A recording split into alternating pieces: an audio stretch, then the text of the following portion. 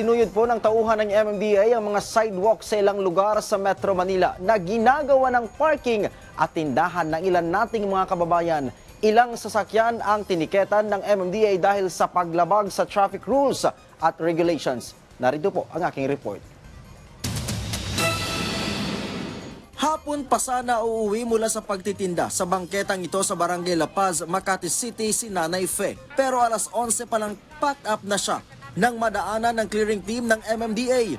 Kinumpis ka ang kanyang payong na panangga sa init ng araw. Napaaga man ng uwi. Pasalamat pa rin daw siya dahil hindi nakuha ang kanyang kariton. Hindi po, okay lang yun. Ano naman namin ito eh.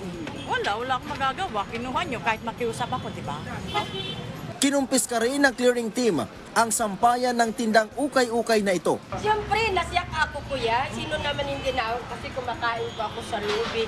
Kala ko nandito yung asawa ko kasi dito lang man din banda sa amin sa ano dito sa pwesto mismo. Kasi di, naka, dito kami nakatira. Limas din ang mga bakal sa junk shop na ito. Nabulaga rin ang mga tauhan ng car shop na ito sa bahagi ng EDSA Heritage sa Pasay City. Tila parking lot sa dami ng nakaparadang motor ang harapan ng tindahan. Taranta tuloy ang may-ari para hindi mahila o mabigyan ng violation ticket. Isa sa natiketan si Rogimar.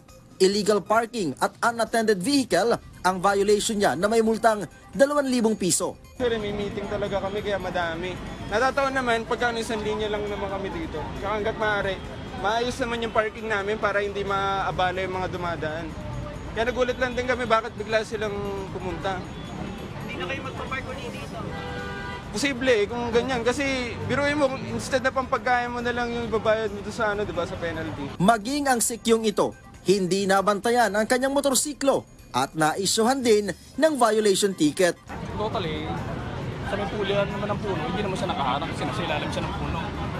Pero aminado naman ako, gusto ko lang, 1,000 lang.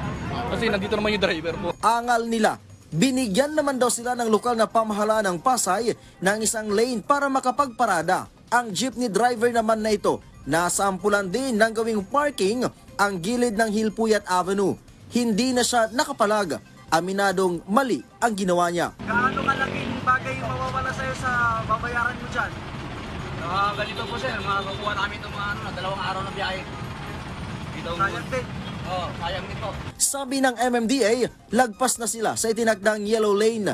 Ginagawang parking lot ang mga sidewalk kaya dumadaan na lang tuloy ang mga tao sa kalsada. Isinuyo din ang kahabaan ng R10 sa Maynila. Ayon sa MMDA, sinadyang gabi ang operasyon dahil di inaakala ng mga motorista na may manguhuli pa. hindi naman natin po pwedeng pagbigyan ng iilan and sacrifice not only the ano no the traffic rules and regulations but also sacrifice the mobility ng mga iba pong gumagamit ng kalsadang ito. Paalala ng MMDA, walang sagabal dapat sa mga pangunahing kalsada, mabuhay lanes at mga alternatibong ruta kahit sa gabi. Takaw aksidente ang mga nakabalandrang sasakyan sa daan. Eh, hindi naman po mura ang mga binibili natin sa sakyan, may kamahalan po ito. So I think we have to protect our properties, we have to protect our vehicles kasi kung sa gilid ng kalsada lang po ito nakaparada, there are chances na magasgasan pa po ito, ah, manakawan, or any other untoward incident. Paiigtingin pa ng MMDA ang clearing operation